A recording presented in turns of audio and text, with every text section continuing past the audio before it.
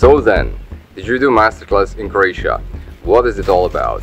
When I first had this idea to do the masterclass, I wanted to create the ultimate training camp for Didgeridoo Jedi Master Ninjas uh, so that they can uh, develop even further.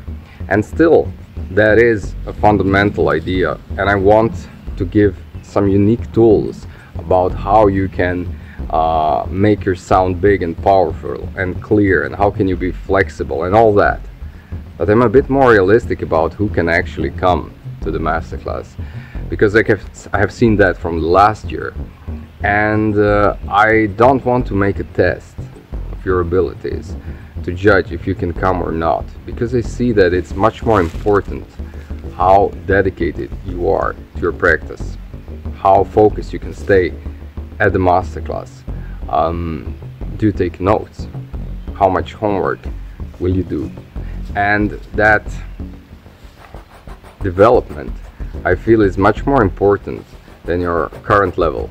Because if you come with a level 8, let's say, let's call it level 8, and you leave with level 8 and you're level 8 for the rest of your life maybe you, you didn't have to come to the masterclass but if you come with level 4 and you're level 6 next year and level 7 in the next year and level 8 in next year and level 9 maybe once then it makes quite a lot of sense to come. And what I learned is that we need to have more playing so more playing we will have and we will learn more from the songs. And I intend to create these songs because this is kind of my job to practice through the songs and I plan to create them in such a way that you can play them in one way if you're a beginner. Not really a beginner that you come to the didge first time but let's say on the lower end of the group. And you, that you have something else to play if you're more advanced.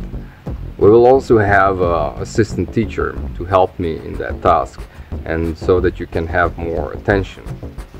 We will prepare the place better, the textbook will be better, and in many ways we will improve the first masterclass. Now, if you now come to the logic, okay, so I will wait for the next year or the next because the masterclass will be even better, that is not very good logic because I only promised to myself that I will do it for two years, and this is the second year, and I don't know if I will do it for the next year.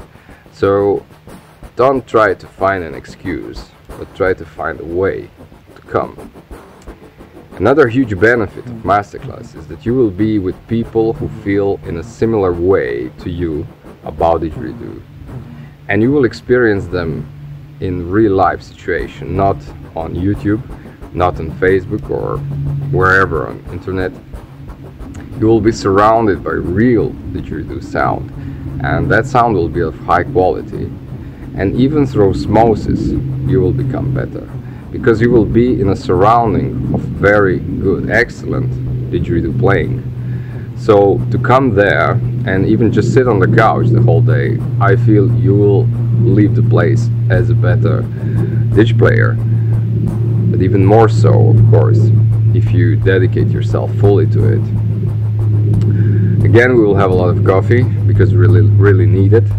And I feel you will find new friendships and you will explore and find out many things about didgeridoo plane that you didn't know that exist, that you didn't feel that they were possible.